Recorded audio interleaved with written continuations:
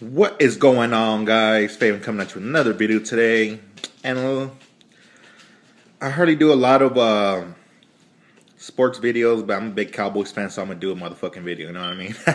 so yeah, I want to talk about the Cowboys and why we need to fire fucking Jason Garrett.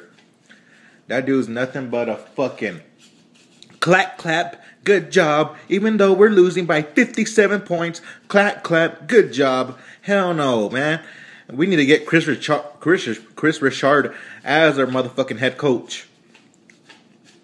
And uh, on that Rams game, he was getting on the motherfucking defense uh, asses, man. I saw that. And probably need to fight Robin early too.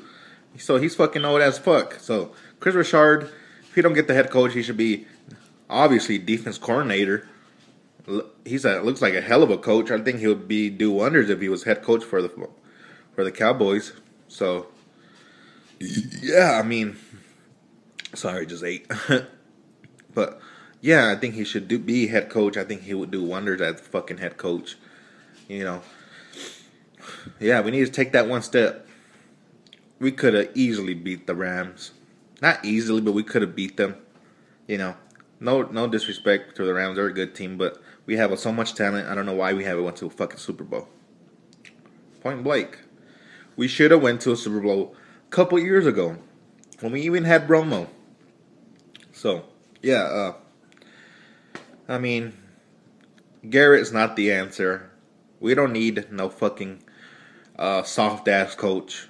We need a tough minded John uh, uh, Jon Gruden like coach. So Kris Richard could be the guy I don't know, my opinion. What's your opinion?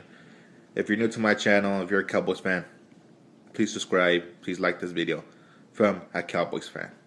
Please, please, please fire Garrett. I'm begging you. Jerry Jones, if you're watching this, fire the motherfucking Garrett. I don't give a shit if he has fucking, if he gets fired, he has five open jobs. I don't give a shit. He didn't cut it here. And I hope, I hope that he won't cut it somewhere else. So yeah, fuck Garrett. Fuck the coaching. We need a whole motherfucking upgrade. And if that's just bringing a new voice in, that would do wonders for this team. That's just my opinion. Let me know what you think in the comment section. Peace out, guys. Stay tuned for more videos.